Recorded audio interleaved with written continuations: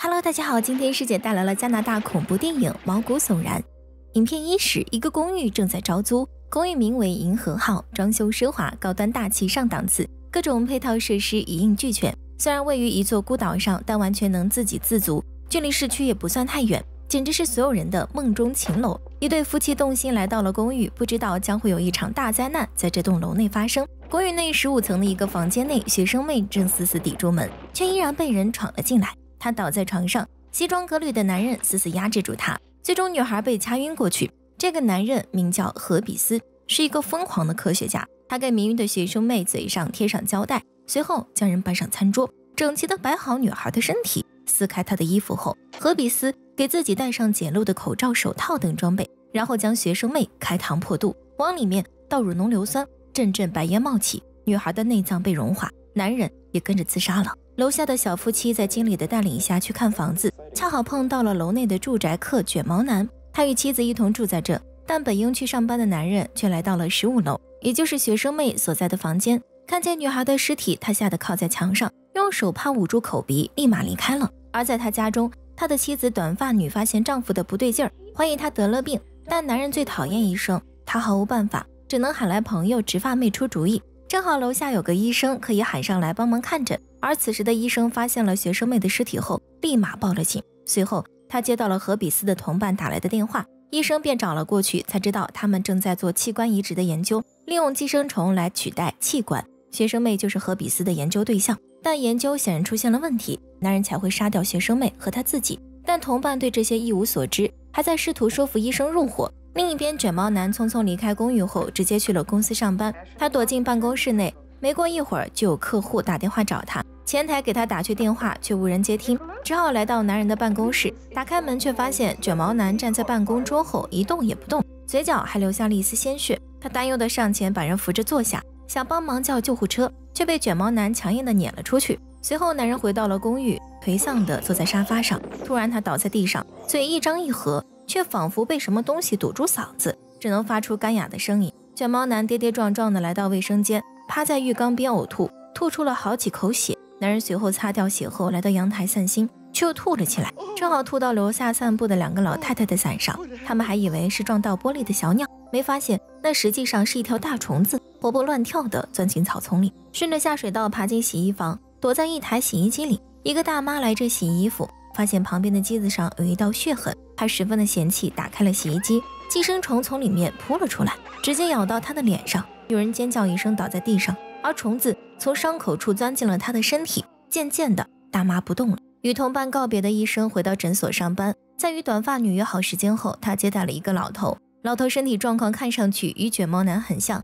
但没对方严重。因为自己特别喜欢撩拨女人，老头便怀疑自己的病是从一个年轻女孩身上感染的。因为对方有着相同的症状，这个女孩就是学生妹，被何比斯当做培养寄生虫的研究对象。医生已经从同伴那知道了他们的事，便让老头去医院照个激光，想知道这里面到底是什么东西。离开的短发女回到了家，却发现家门没关，屋里漆黑一片，只有打开的冰箱处传来光亮。他路过时被吓了一跳，卷毛男竟倒在冰箱前，他连忙跑过去给人擦血，然后把人扶进卧室，没注意到有一条血痕延伸到了门口。而在楼道内，两个小孩子本想要做恶作剧。却突然看到一条恶心的虫子正往外钻，吓得连忙逃跑。在床上的卷毛喜悦地看着肚子内的凸起，看样子像是知道自己身体内有什么东西。听到妻子的声音，他连忙不再动弹，还将人赶走。短发女伤心地离开了。另一边，医生在送走老头后，开始搜集资料。恰好同伴打来电话，他对何比斯的遗物进行了整理，把从里面发现的信息都告诉了医生。两人约好在卷毛男家见，一起来研究这件事。与此同时，直发妹正享受的泡澡，没发现一条寄生虫从浴缸的孔洞中钻了出来，咬上了她。很快，浴缸内的水被血染红，女人尖叫着倒向水里。等水渐渐流完，直发妹从里面走了出来，丝毫不在意掉到地上的碎杯子，起身离开了。楼下一个侍应生推着食物上楼，他路过大妈的屋子，里面的女人突然打开了门，换了一身装扮的她死死盯着眼前的男人，忍不住扑了上去，硬生生将人给拖了进去。在所有人还未反应过来的时候，公寓内开始发生混乱。护士正做着饭，突然听到有人敲门。他发现是一个不认识的男人，便好心的看看能不能帮忙。没想到男人径直朝他扑了过来，他赶紧想关门，却没来得及。男人闯进来，死死压在他身上。为了自保，护士拿手中的刀捅向了男人，然后飞快地跑去找医生。医生正准备去卷毛男家，看见护士前来，赶紧安慰他，并来到他家查看。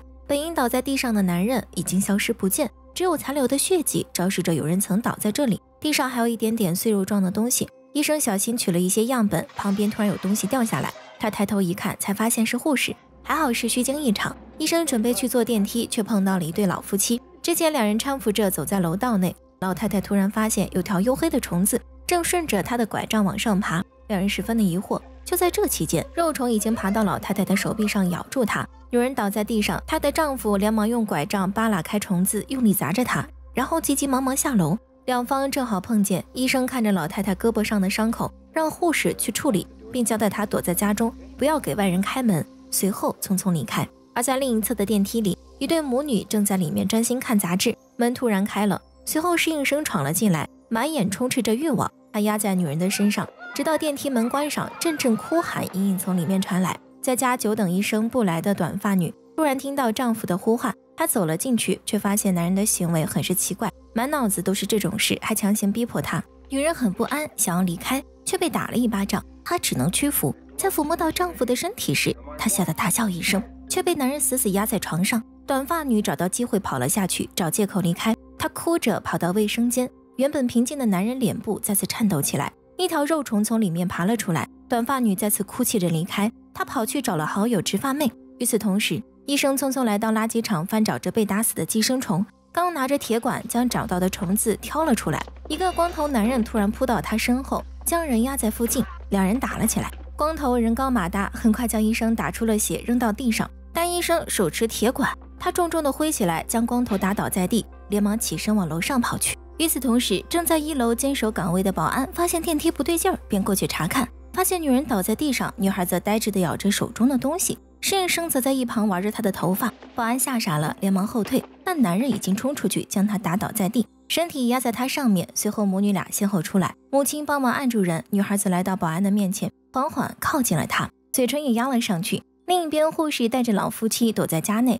给老太太包扎好伤口后，三人一起看无聊搞笑的电视。但之后，一个不知名的人切断了电线，屋内电视声音停止，他们便听见外面传来女人惨叫哭泣的声音。护士透过猫眼去看，观察了一会儿，他划上门准备打电话报警，却发现电话根本拨不出去。心急的女人直接打开了门，跑了出去。她喊着医生的名字，一路跑到地下停车场内的垃圾处理厂，一不小心被绊倒在光头的尸体上。护士站起身，惊恐地看着满手的鲜血，吓得张大了嘴。而医生则跑到了大厅里去，他先强硬的让经理去报警，随后给护士家打去电话。得知女人不在后，他让夫妻俩待在里面，不要出门，便再次跑出去寻找护士。刚结束完通话，一群看起来呆傻的人便来到了护士家门口，用力的敲着门。夫妻俩疑惑极了，傻傻的看着门口。很快，大门被撞开，这群男女老少都有的人闯了进去。夫妻俩很快成为他们的一员。护士从垃圾场跑出来后，随便在停车场找了辆没锁的车，想要离开这里，